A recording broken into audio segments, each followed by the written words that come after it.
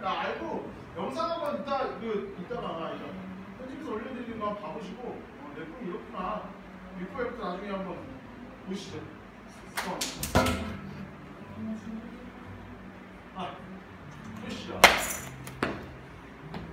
아, 아우, 손 아프세요? 나.